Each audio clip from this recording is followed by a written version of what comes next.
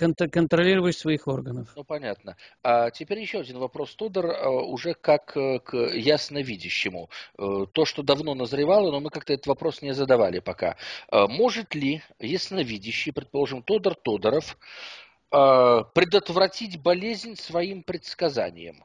Я понимаю, что у каждого человека есть своя линия судьбы. Я понимаю, что каждому человеку предстоит э, именно заболеть в той точке своего возраста и своего состояния организма, где ему, видимо, предстояло заболеть.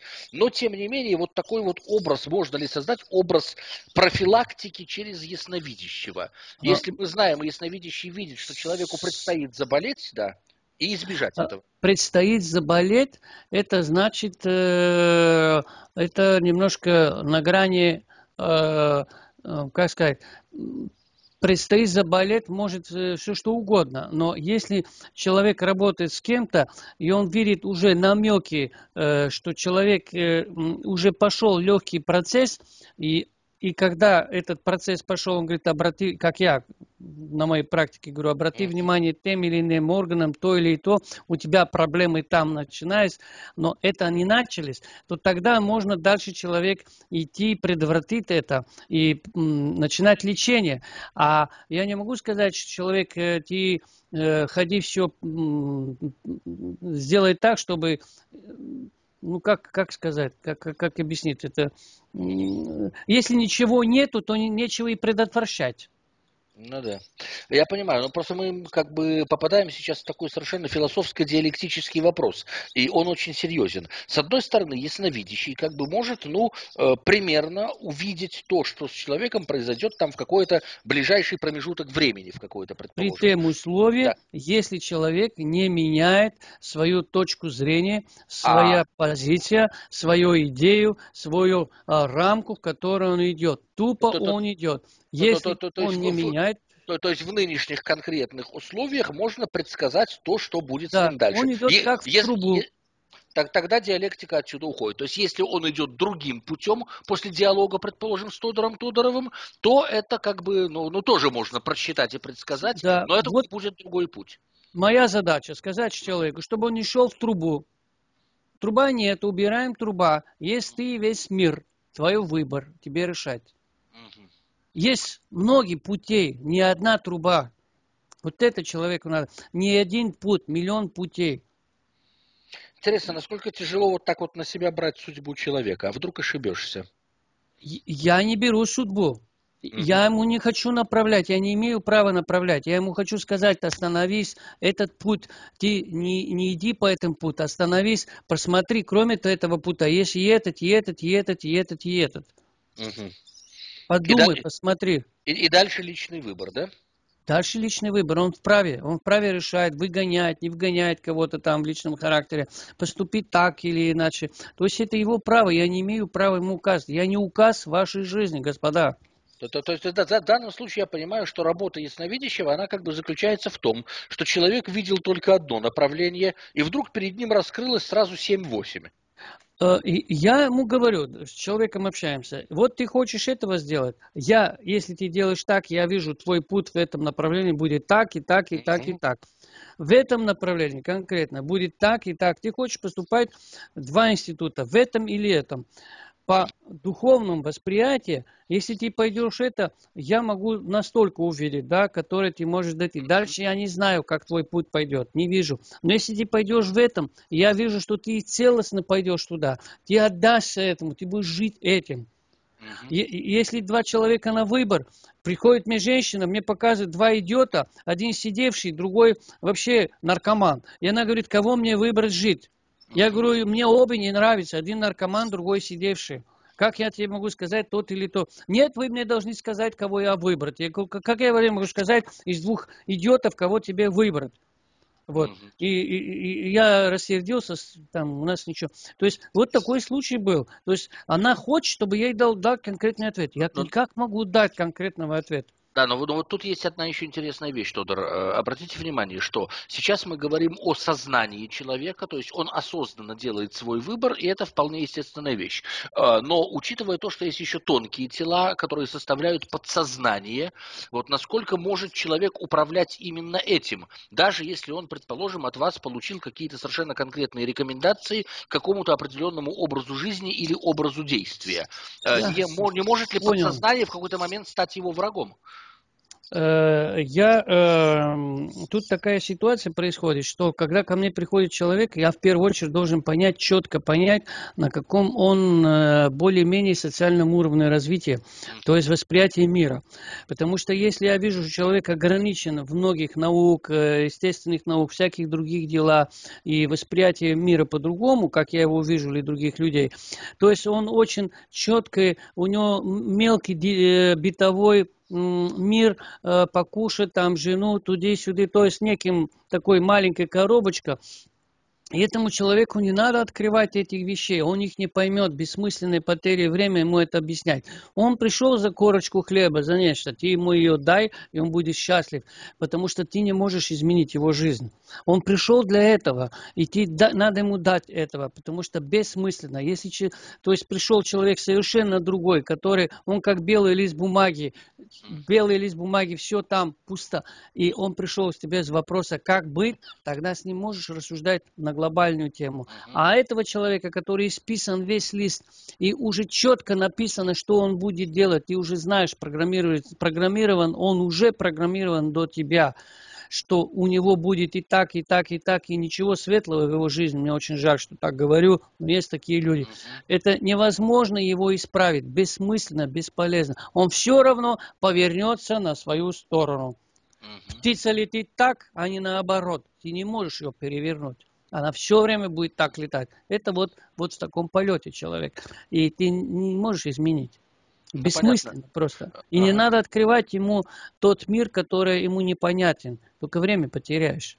А я просто к чему говорю, что тут я опять-таки почитал немножко литературку, да, вот, и я удивился тому, что сам принцип ясновидения, оказывается, я не знаю, умные или не умные люди в данном случае делят как бы на несколько принципов. То есть есть ясновидение, которое помогает разобраться в чувствах, есть ясновидение, которое может поставить как бы э, вопрос и диагноз физических заболеваний, э, которые даже невозможно заметить. Э, есть ясновидение, которое работает непосредственно с мозгом, мозгом и позволяет человеку как бы лучше соображать. Есть ясновидение, которое помогает вспомнить себя и далее то, что называется помнить себя. Вот, и вот э, такие вот вещи. Это действительно какие-то раздельные э, направления или это все в одном ясновидящем абсолютно сочетается? Не, не, не всегда все сочетается, потому mm-hmm. что, э, честно хочу сказать, я не знаю, что поймаю. Я не знаю, в какую э, диапазон, какую волну я настроюсь. То есть я когда э, говорил, э, когда Баба Ванга, когда работала, да, к ней пришел человек, она обращалась, так поднимала голову и искала, искала она как локатор. Потом где, где, бах, поймала, стоп, все, пошла информация и все. То есть когда ты общаешься с человеком, ты старайся на его, от его вопроса, который он пришел, э, э, повернуться, как свой локатор, повернуться туда, в эту сторону и ловить вот этих э, мыслей. И нельзя, в этих случаях нельзя э, присутствовать другим человеком, потому что э, я могу ляпнуть того, попадая в, э, в такой ситуации неконтролируемой, того, что другой человек не может, э, не имеет права этого слышать. Это уже нехорошо. И бывали комедийные, смешные ситуации. И начинает, э, когда я работаю, я начи, включаю логику, чтобы не ляпнуть, я контролирую свои слова.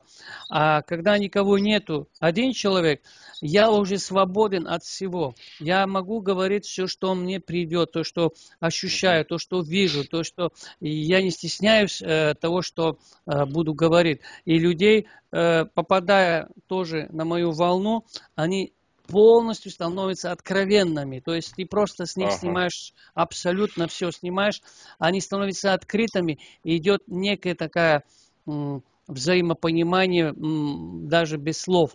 Ты ощущаешь чем больше этого, тем больше ощущаешь человека, больше его понимаешь, понимаешь его внутренний мир, его болячки, ага. его это. Идет чисто откровение идет. Не работает логика. Да, то есть по большому счету никто не знает, мы забросили невод в море, и мы не знаем, что этот невод оттуда притащит, да? Притащит он рыбу тунца или каракатицу, или осьминога, или еще что-нибудь такого типа. То есть мы не знаем, в чем пока заключается проблема, но этот невод притащил, предположим, что-то на ментальном уровне. Значит, на этом уровне приходится с э, пациентом, там, клиентом работать и объяснять ему. Да, или или приходит... на физическом уровне, на уровне физической болезни. Да, да? он приходит с вопросом. И я стараюсь, у меня табу я не лезу в человеке э, без вопросов. Я могу общаться с ним 10 лет, я ничего знать не буду. Но э, ну, ну как табу, не лезу. У меня бывает, очень честно хочу сказать, что тяжело, когда ты общаешься с человеком и видишь э, через какое-то время, что с ним может случиться, куда он идет. Когда, как мы задал мне вопрос, например, у меня мой друг банкир был, который умер в прошлом году, я знал, что через 10 лет, я примерно э, видел картину, он умрет, и как будет, и все, как это все. И я не хочу это верить, не хочу это думать, я себе придумывал, а потом нет, да нет, там сказал, на одном месте сказал, э, признался, по-моему, может, второй раз еще где-то признался. Забыл, прошло время, действительно так и случилось. Тодор, вот, вот, вот, вот, вот тут... И, да, а, это ну, тяжело. Да, да очень тяжело, когда ты есть моменты, когда ты видишь, что будет с человеком э, через какое-то время, видишь его смерти и еще чего-то. И знать это, я пытался ему помочь, э, но он отказался от э, всех. Это он да, Тодор, вот тут называется совершенно невероятный вопрос, но тем не менее мне он очень интересен, я думаю, что он и слушателям будет интересен. А, вот обратите внимание, э, значит так, э, рабочий отстоял смену у станка, предположим, он токарь. Он в 8 часов вечера или там в 6 часов вечера выключил рубильник, станок остановился, и он идет куда-то там э, в кабак отдыхать с друзьями. Все, в это время его станок не вертится. То есть работа, вот он как он отключил этот рубильник, так его работа остановилась, и больше он работе не вспоминает до того момента, пока он не включит рубильник. Программист сидел за компьютером долго, там 12-16 часов, он дописал программу, засейвал, выключил компьютер, встал и пошел в ночной клуб. Все, в ночном клубе у него нет компьютера, ничего как не свой выключить, да? У вас станок останавливается когда-нибудь, да? Нет. Я... Вот, вот в этом-то весь ужас и есть. Да. Я, я, вот, я ожидал этот ответ. Да. Я недавно, девушка там что-то писала, как, как у вас дела. Я как-то у меня понесло, я говорю, вы понимаете, говорю, я какие, может быть, у меня? Я говорю, похож, говорю, на стене плача. Говорю, все ко мне приходят, все плачут. Я похож на икону, который все ко мне просит здоровья, просит счастья. Я похож на еще кого-то там юриста, который там дом мне может продать, что ему надо делать. То есть я в одном лицо говорю на всех, все, я должен что? так кто же я? Я не знаю, кто. Я хочу быть я. Я устал, иногда устаю, на самом деле. Вот это. То есть бывает, когда ты спишь, ты обязательно во сне, я вижу там, что должен делать того, того, того. И иногда не понимаю, вообще я спал или не спал, или там работал. То есть где, где сон, где вот это, то есть в каком состоянии Видимо, я отключаюсь, но я-то знаю, о чем я думал. То есть мне как-то все вот так все сместилось. И на самом деле тяжело, когда не можешь помочь э, человеку, э, особенно, скажем, в личных проблем человека, спрашивает, показывает фотографию э, просто урода какого-то, ублюдка. Я его не, знаю, как еще хуже назвать этого человека, морального, деградировавшего элемента.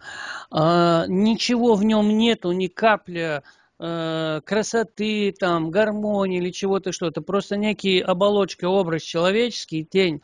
И она влюбилась в ним, и меня спрашивает, как ей быть, э, что ей сделать, она влюблена и так далее. Я не знаю, что ответить.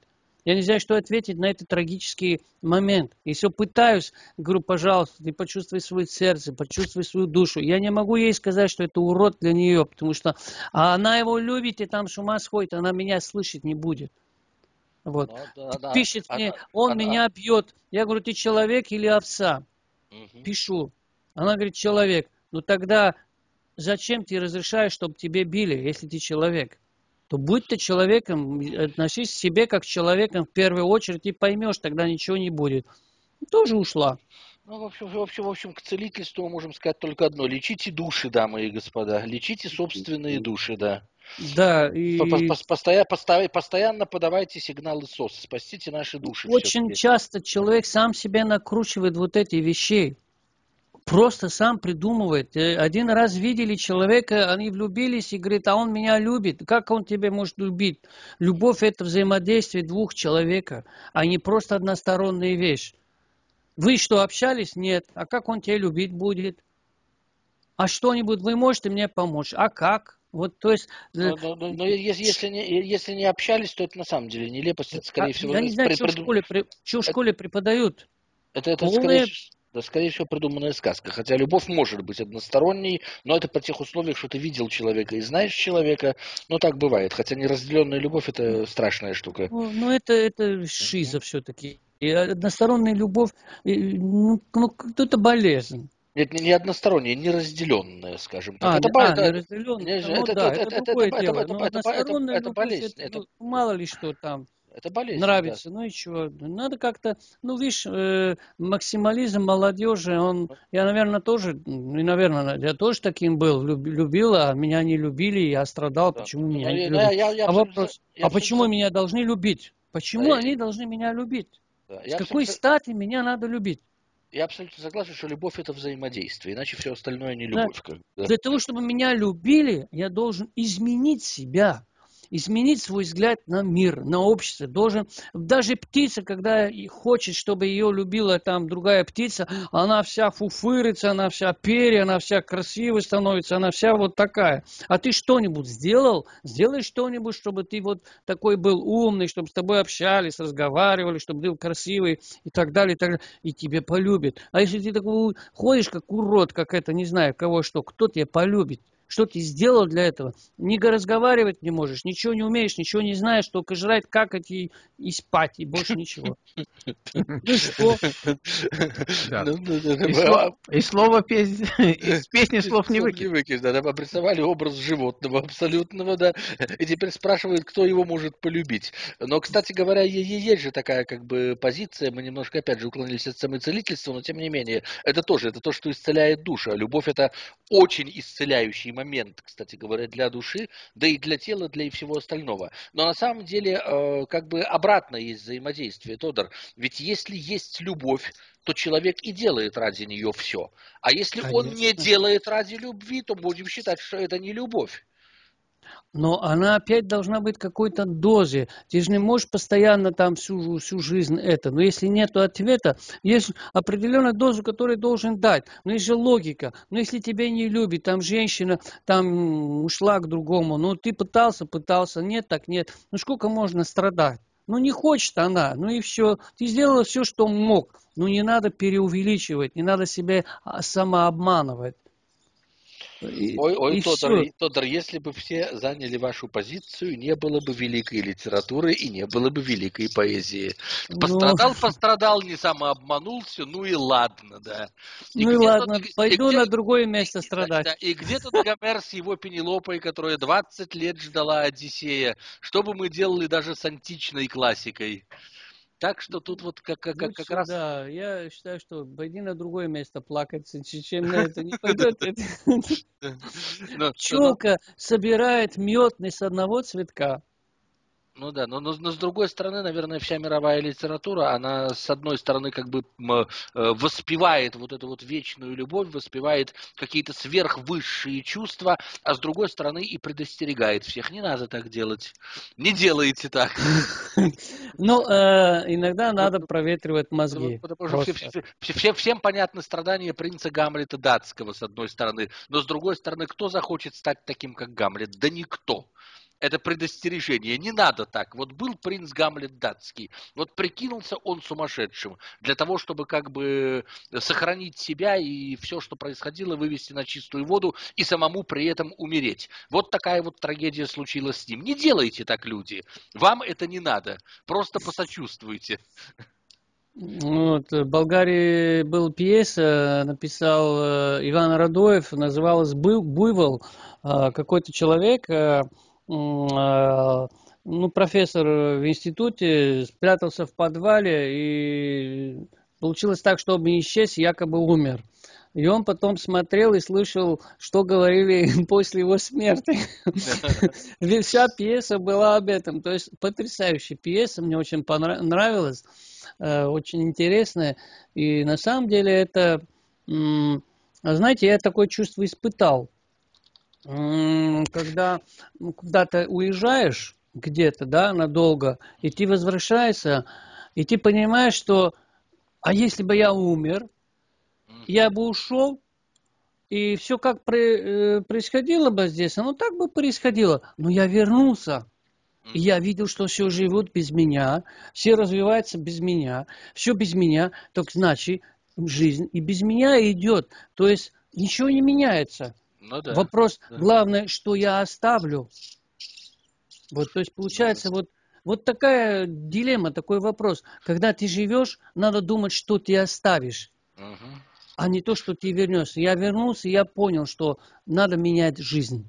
Ну, Потому да. что я как будто представил себе умер, и вернулся. И я увидел жизнь, она идет совершенно по-другому. С другой ну, точки да. зрения. Но, ну и заканчивая эту тему, кстати говоря, в болгарской литературе, как ни странно, у вашего потрясающего детективщика Богомила Раинова есть единственная недетективная повесть «Моя незнакомка» называется. Вот там действительно про любовь. Вот там замечательно. Можете, освежить память и прочитать. Очень хорошая повесть не, Раинова. Не, знаю это. Богомил Райнов, да. Он, такие вещи, да, очень интересные вещи писал. Я читал от него, помню, что. Ну, ну, у него много детективов интересных, как бы, но это единственная такая недетективная история, вот именно такая очень любовная, но, но прекрасно написана. Просто. Я хочу поделиться, вот сегодня написал такая мысль, э, она, правда, длинная, но идея такова я заметил такую вещь в жизни, да, э, бывает, вот как раз она в теме, да, э, бывает, что человек страстно что-то хочет, страстно любит, страстно вообще с ума сходит, неважно, любит, э, хочет нечто, вожделение там, чего-то, что-то, ну, у него не получилось, прошло время, это не получилось, скажем, если там на лю- в любви, да, какая-то женщина хотела, с ума сходил, да, но проходит время, и ты прекрасно понимаешь, слава Богу, что это не случилось. Угу.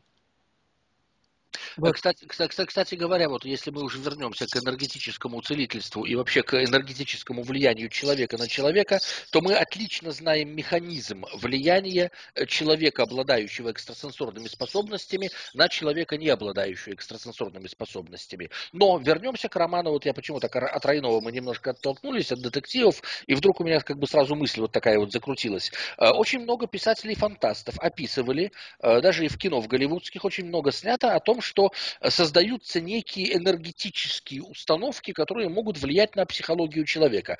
Тодор, вы как ясновидящий, скажите, э, могут Запросто. ли могут ли быть созданы такие механические энергетические установки, которые будут сосредотачивать энергию, влияющую на разум, на сознание человека, э, причем это будет не человек, не ясновидящий, не экстрасенс, а просто вот такая вот механическая машина, которая генерирует определенные волны и может менять разум, может менять желание человека. Машины, то, что уже э, есть э, высокочастотные мобильные установки, которые вообще глушат сознание, это я уже разузнал, это уже есть. Ага. Э, попадал на этом. Э, влияют. Но я хотел другое сказать, что все, что нас окружает, наш мир, э, все на нас влияет. Это некая заложенная энергия. Чтобы мы ничего не взяли, взяли бы вот стакан, да, этот стакан, мы сразу, анализируя его, понимаем, что тут участвовала женщина. Раз цветочек есть, раз что-то, что-то. Ее внутренний мир, искусство, что такое искусство? Материализация духовного состояния человека. Ее внутренний мир отразился через этого. Он несет энергию. Да, он массовое производство, но он, он несет некую энергию, некую э, информацию несет. Так что нас, что окружает весь мир, все это есть информация. Вопрос в том, что мы ее воспринимаем или не воспринимаем. И второе, если воспринимаем, как ее воспринимаем, что мы с ней делаем. А то, что есть... Э, как химические элементы там влияют на, на мозг человека, как слова влияют на мозг человека, там еще чего-то. Конечно, все это влияет. Конечно, все это уже придумали. Но это все это засекреченные методики, которые и а вот Лучше сейчас, об этом да. не говорить. А вот мы сейчас выкатываемся на довольно интересную тему. Давайте от засекреченных методик придем к вот нашему обычному бытию. То есть информация к нам поступает одна и та же. А, но то, как мы ее обрабатываем, это сказывается на нашем и ментальном, и физическом здоровье. То есть нужно уметь обработать поданную информацию из внешнего мира. Ну, надо всегда задавать вопрос, а для чего мне говорят, что я хорош? Для чего мне это дали? Угу. Для чего мне это говорят? Что хотят с этим сказать? Мы же не задаем себе вопрос. Нет, не задаем, а, конечно, да. А как мы начнем задавать себе вопрос первого встречного? Говорит, Тодор, ты очень хороший человек. А я не задаю вопрос. А если я задам вопрос, а почему я хороший человек? Почему он так считает? Угу. Значит, мне надо себе понять этого человека, с чего он бы так взял, какая у него информация, что он угу. хочет меня. Как эта девочка говорит, папа, можно я тебя поцелую? Я говорю, опоздала, мама уже поцеловала, денег нету. Да-да-да. Все правильно. Но, но, но, но мы, мы в результате подходим все-таки к тому, что весь мир да. какая-то одна большая компьютерная программа, где информация является самым важным. Информация является основой, информация является концом, да? Да, это нельзя, нельзя сказать, что это с одного человека, одна группа людей. Это много, много разных, э, э скорее всего, систем, систем, группы систем, которые управляют э, вообще массовое сознание людей. Э, через всего. Абсолютно через всего. Ну, да, ну, почему? Ну, они слово говорят, контролируемый э, наркотиков. А что, их контролируют, что ли? Вот. Там еще чего-то, там другое слово, контролируемое, незаконно. А что есть законный оборот наркотиков? Незаконный так, оборот. Так, так, так и называется, комитет по контролю за незаконным оборотом наркотиков, да. А почему, значит, по, есть... почему по контролю, а не по уничтожению? Да, ну, да а, а, а, а что есть законный, э, то есть или бесконтрольные, или контрольные. То есть иногда вот это не игра слов, а это что-то вообще, и люди не задумываются на то, что просто говорят, то, что пишут, сделали вот это все. То есть я считаю, что это неправильно. И поэтому нас, нас просто управляют, нас просто терроризируют. Ну, да. ну, ну, значит, да, да. Весь мир так устроен. Да, что... да, да, да, на, на, на, на, э, как, как бы в филологическую же тему переходя, хотя мы немножко отвлеклись опять-таки от темы целительства, но тем не менее, э, насчет того, что мы всегда несем информацию, даже не думая то, о чем мы говорим, классический журналистский оборот, штамп номер 125, э, продукты питания. Э, в смысле э, продукт это всегда процесс какого-то производства. Продукты нефтехимии – это бензин, солярка, да? Продукты автомобильной промышленности – это автомобили, это колеса, это двигатели, э, там продукты химической промышленности. Это там мыло, чистящие средства, еще что-то. Продукт – это то, что произведено. Как в этом плане мы должны определять фразу «продукты питания»? То, что произведено в результате питания, да? Вот, вот, вот, вот, вот, собственно, и оценивайте, что мы производим в результате питания. Вот, но тем не менее, это такой, да, это, это устоявшийся штамп, который везде как бы, вот, вот такие-то продукты питания поступили на полки магазинов, да, и с этим уже ничего не сделаешь. Хотя языковая трактовка должна быть совершенно другая. Вот, на самом деле, еще раз я говорю, то, то, вот все носители информации, та информация, которую несет в себе человек, та информация, которую он воспринимает извне, и то, как он ее обрабатывает, срабатывает, это, наверное, и э, есть первооснова того, как человек себя чувствует и ментально, и физически, потому что в мире, в принципе, все есть информация, почему библейский текст классический начинается с чего? В начале было слово. Слово. То есть в начале ну, была информация. Да, в любом случае человек, который является личностью, это изгой общества. Угу. Он против всего, потому что личность ее появляется там, где она не воспринимает э, этот окружающий мир. Она его воспринимает, да, она знает, но она знает, как он устроен. И она на базе этого создает свой собственный мир. Это и есть личность. Может, а понять... человек, который не, не хочет понять, как устроен этот мир, он не личность, он в этом мире. А личность, когда абстрахируется от этого мира, понимает его, уходит со стороны и создает свой собственный мир.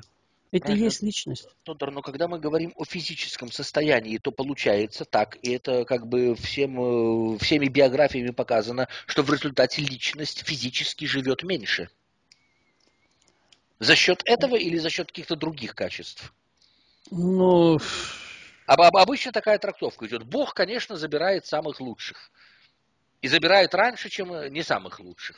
Но это ну, уже э, тут, э, тут получается, кого не возьми из известных писателей последних, там еще каких-то вот это, они э, действительно м, ушли немножко очень сильно с большой скоростью. Понимаете, вот ты задал очень э, интересный вопрос, на который я тему думал, что мы живем разной скорости времени. Человек за определенный отрезок времени в 100 лет, он обычно средний, статистически, он сделает того, того, того, того за сто лет он сделал это, образно говоря, если возьмем единицы измерения. Другой человек за это, что он сделал за сто лет, он может сделать за 25, за 30 лет. Понимаете? То есть, получается, времени, которое он успел, вот это за короткий срок времени, он сделал его сжатым э, формате, а другой его растянул. Вот и все. Потому что что написал Пушкин там, да, сколько лет, 27 или 20, 31 год, я не помню, сколько 30, лет он жил. 30, 37 лет, на 38 году. А, 37, да, 37, а не 27. Точно помню, что 7 было, забыл да. из головы. Он сумел столько много сказать и написать, что люди, чтобы это сказать, им должны здесь 137 лет. То есть он настолько сжато все информация. Взять других людей, которые э, молодые тоже э, покончили жизнь, убили или еще чего-то. Они в кратком, они живут один день за три, один день за пять. Они хотят быстрее все, поэтому у них работает мозг совершенно по-другому работает. Э, жизнь, она короткая жизнь из-за того, что они э, через себя перелопатывают намного больше информации, намного больше э, быстрее аналитики, чем других. И, конечно, организм израсходуется, физически человек израсходуется.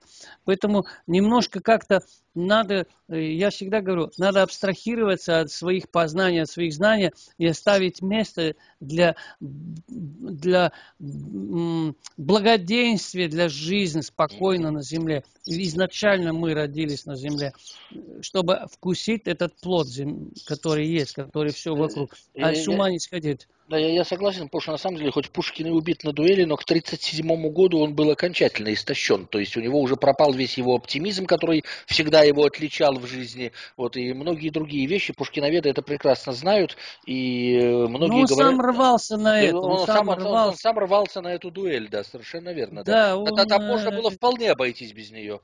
Да, да просто это, ну как э, застрелился Маяковский? Ну, ну, да. ну просто тупо. Это он просто решил, э, я э, э влез туда, в тему, влез.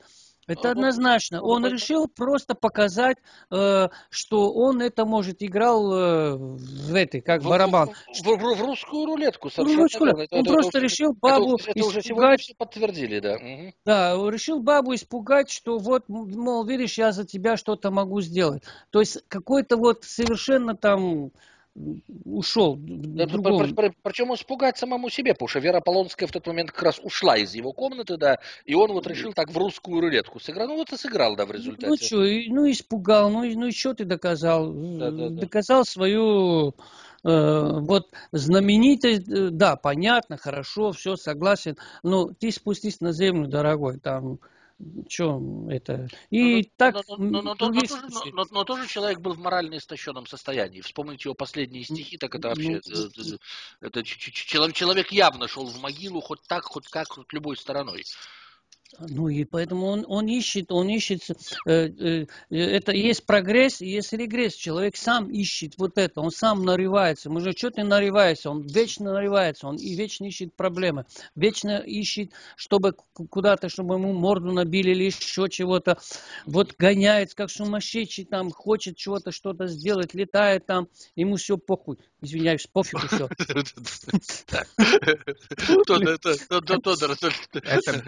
Это это, это мы вырежем, да. Э, только, только единственный вопрос, вот уже как бы в завершающей фразе, да, потому что пять минут у нас осталось до конца. Сорвался эмоционально.